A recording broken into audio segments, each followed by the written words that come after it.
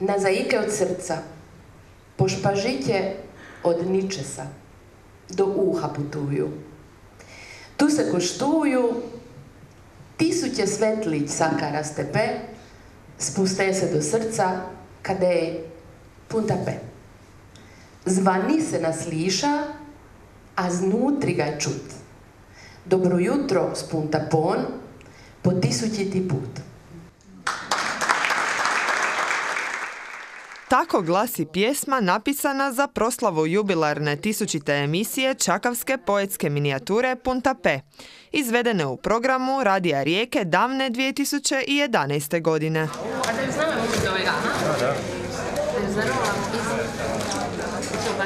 A Punta P je jučer u Narodnoj čitaonici Gradske knjižnice Rijeka u društvu prijatelja proslavio punih deset godina neprekinutog svakodnevnog emitiranja. Svako jutro moram čuti. Događaj i puntape, sve. Svako jutro. I kratko traje i lijepe su pjesme. Mislim da raspoložimo, uljepša mi dan. Radio Rijeka je uvijek se sluša, pa i u, i u autu i doma i gdje god mogu slušati, a obavezno dan počinje sa ovom emisijom ja bih rekao punta pet, jer kod mene na Pagu se kaže punta pet. Ne slušam baš svako jutro jer se ne dižem tako rano. to je razlog.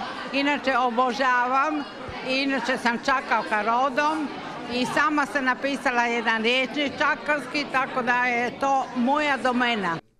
Svako jutro u 8 sati i 15 minuta, 365 dana u godini, uz slušatelje Puntapea je voditeljica i urednica emisije Rajka Jordana Šepić. Ja sam e, čakavac, to je moj identitet i zapravo pa nije samo moja, mislim da svi ljudi imaju tu ljubav, samo netko ima dar da od malena se sreo sa mikrofonima. Ja zaista jesam još u osnovnoj školi imala taj valjda izražajno govorenje i, taj e, način vrlo otvorene ekspresije. To je još učiteljica primijetila i od kad su me prvi put postavili pred mikrofon nikad više iz mojega života nije izašao. Rajka Jordana Šepić istinska je zaljubljenica u čakavski izričaj i čakavsko pjesništvo, pa joj uređivanje emisije nije nikada predstavljalo problem. Zaista volim poeziju. Prvih godina je bilo to jednostavno jako raditi jer je toliko pjesama koje gotovo i na pamet znam, ne trebam pomoć knjiga za odrecitirati ih, ali nakon prve dvije godine, da ne kažem tri, se popne broj na tisuću pjesama koje se ne ponavljaju onda čovjek već mora imati bazu podataka u kojoj provjerava da li je ta pjesma bila ili ne.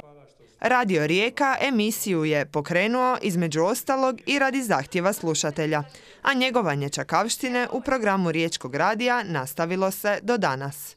Mislim da se trudimo to raditi. Mislim da i uspijevamo, mislim da je to pokazao i ovaj skup večeras. Znao sam da će biti slušana i znao sam da će biti uspješna, ali da će ovako biti popularna i ovako slušana, to zaista nisam i drago mi je jako zbog toga. Godine 2011. emisija Punta P nagrađena je nagradom grada Rijeke i Primorsko-Goranske županije, a redovito se koristi u nastavi hrvatskog jezika u brojnim školama Hrvatskog primorja. Zato je vredna Rajka, čaj najbolje znala, srce svojeva punta pedala. I zato joj velo, velo hvala.